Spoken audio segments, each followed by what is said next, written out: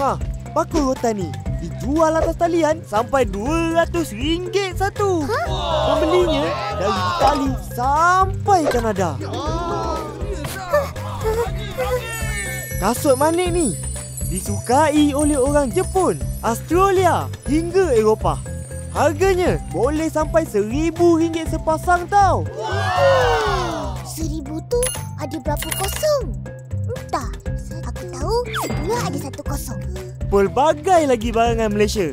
Bukan setakat tikar mungkuang dan minyak sawit je. Apa-apa pun, aku tak beli barangan Malaysia. Tak menarik. Ih, jam dengan slipper ni kan buatan Malaysia.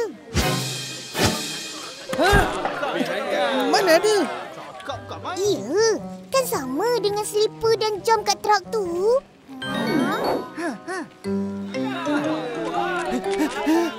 Eh, sama lah.